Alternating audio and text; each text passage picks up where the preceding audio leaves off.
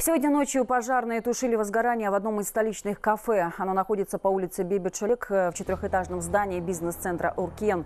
По сообщению комитета по ЧС, на цокольном этаже загорелась вытяжка и наружная обшивка. В результате огонь распространился на кровлю здания. Предварительная площадь пожара составила 400 квадратных метров, пострадавших нет.